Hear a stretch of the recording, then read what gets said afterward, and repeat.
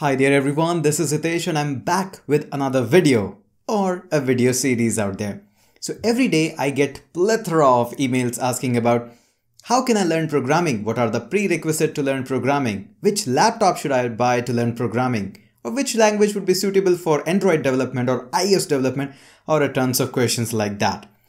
In this entire series, we are going to answer a lot about them. So let's get started out here. So far, I haven't seen a single day when somebody's email doesn't pop up at my screen saying, how can I learn programming? How can I learn programming for iOS or which language to choose in order to design for an Android app or something like that? There is a lot of question and, uh, and of course you can see in the comment section out there people ask a lot about the laptops, which laptop to buy, which PC to buy and lots of things like that. So I thought that it would be really, really great to create an online resource about programming. Yes, that's all about it. And if you'll ask any programmer out there who has a little bit experience, maybe five years or six years, he's gonna say you the same thing. That programming is a generalized concept and language specific concept is a different thing.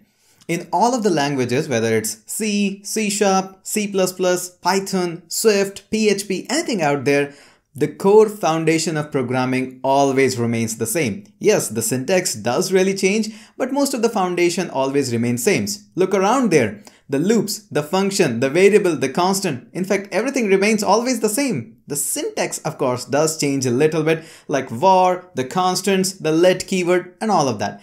So what we're gonna do in this series so this is just an introduction movie out there. So what we are going to do in this series is really simple.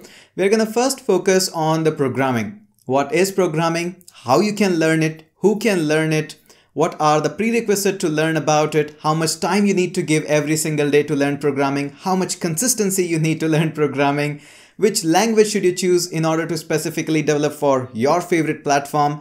What is the requirement for game design, game development, iOS development, web development? Ah, I know, a tons of questions are out there.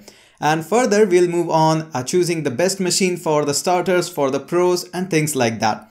So it's going to be a little bit tricky because you might be asking, hey, since you're going to teach what is programming and what are functions and what are loops, which language are going to you choose?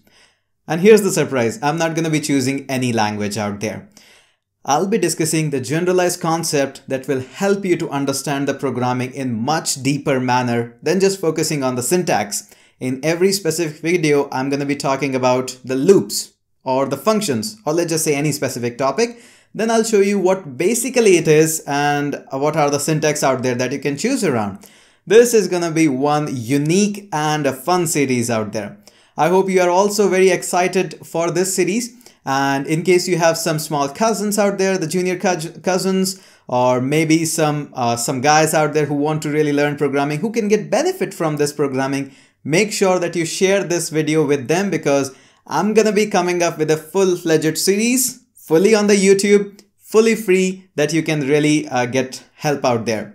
I would like to call this series as Hello World out there because we're going to discuss that in one of the movie. So let's just get started with the Hello World programming series. If you haven't yet subscribed to my channel, do hit the subscribe button. I'm creating a lot of fantastic and awesome content out there on this channel.